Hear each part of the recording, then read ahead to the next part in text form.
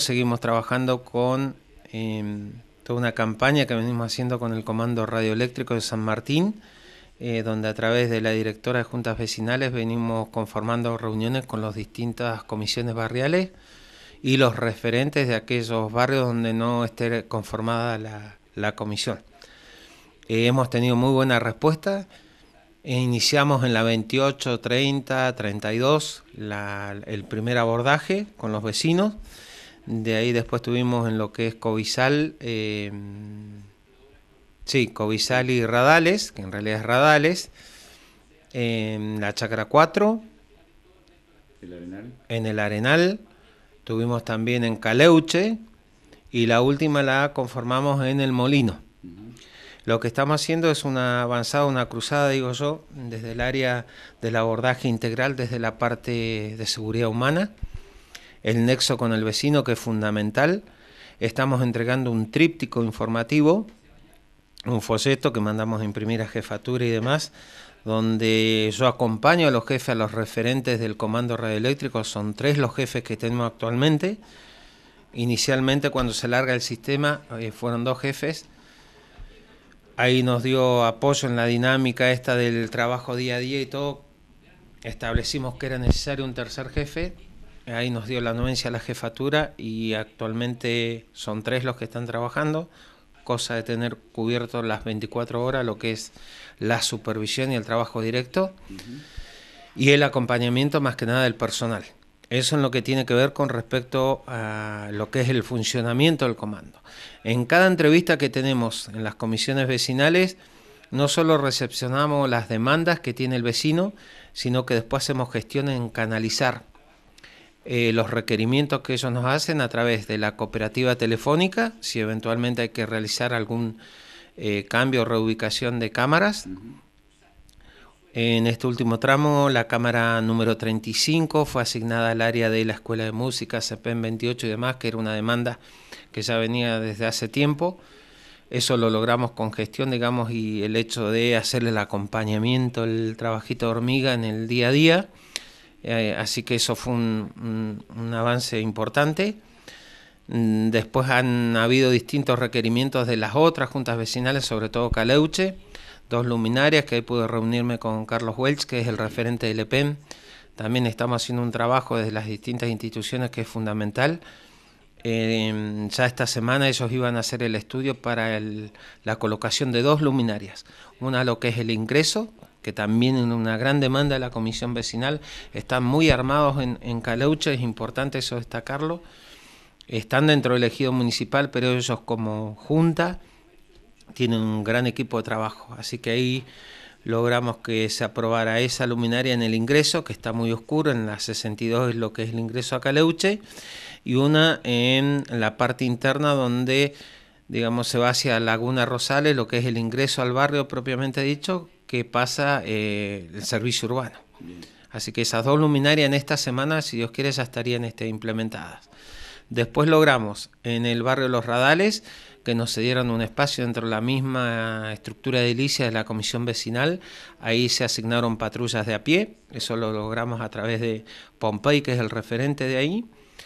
Y volvimos a restablecer el espacio que teníamos en el espacio Sirve de la Chacra 32, donde también ya con las condiciones climáticas ya de esta época. Eh, ya estamos colocando patrullas de a pie, bici policías y este servicio de patrulla motorizada. Todavía nos quedan eh, barrios por visitar. Eh, ahí le pido yo a los vecinos más que nada que sepan lo importante que es tener constituida la comisión vecinal ahora en octubre de acuerdo a lo que nos había dicho Viviana, que es la referente de juntas vecinales, ellos estaban recepcionando todos las, em, los pedidos de conformación de juntas, porque en realidad se hacen ahora las nuevas convocatorias.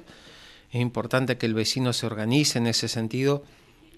Es el nexo fundamental que necesitamos nosotros como policía eh, en cuanto al instrumento para llegar a las autoridades tanto municipales y demás instituciones en el hacer diario nuestro trabajo como policía. Y ahí el nexo fundamental es la comisión vecinal en el trabajo que después nosotros vamos a conformar eh, una vez eh, que sea implementado, instaurado nuevamente lo que es el Consejo de Prevención Ciudadana.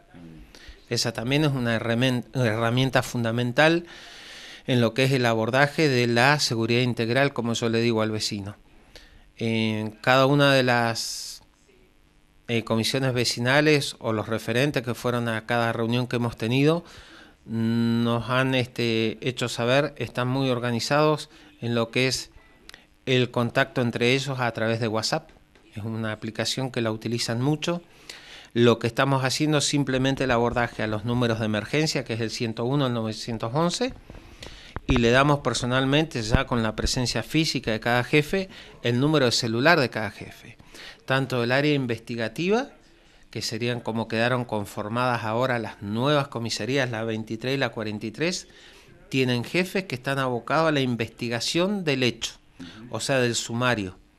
Y después lo que es la parte del comando radioeléctrico hace la prevención netamente, lo que es el abordaje inmediato sobre la comisión de una infracción, una contravención o de un delito. Automáticamente interviene el personal de la comisaría, quienes son los que trabajan la parte investigativa. Ello con el complemento posterior, a través del comisario Soto y todo el personal de la Brigada de Investigaciones de San Martín, que ya ellos labran un expediente paralelo que se trabaja en conjunto desde lo que es inteligencia criminal y demás con el eh, fiscal de turno asignado a esa investigación. Dentro de todas estas medidas prevencionales, digamos que continuamente recomendamos a través de los jefes cuando dan una nota y demás, efectivamente es así, ha estado circulando un, video al respecto, que es el uso del matafuego y demás y las prevenciones domiciliarias que uno debe tener ante cualquier caso de emergencia y que tenga que intervenir obviamente bomberos, ya sea en este caso bomberos voluntarios. ¿Sí? La idea es poder este, irlo desarrollando eso en cuanto a tener este, una dinámica en el uso de que uno esté prevenido en el sentido de decir, bueno, sabemos a qué números llamar, y el lapso que tarde en llegar o no, uno como vecino tiene que colaborar en el abordaje inmediato. Esa es la finalidad. Eh, son un conjunto de medidas y todas tienen el mismo fin. El fin es llegar al vecino y que el vecino sepa que nosotros como institución tenemos la obligación y estamos para acompañarlo. En aquellos casos particulares, fíjate vos el comando, eh, ahora fue, se recibió también por disposición de la superioridad, eh, se adquirió un nuevo móvil que también está afectado a todos los circuitos, son seis los circuitos que conforman el comando, con móviles y teléfono fijo. Ese detallito también lo estamos explicando en cada una de las reuniones que tenemos con las juntas vecinales.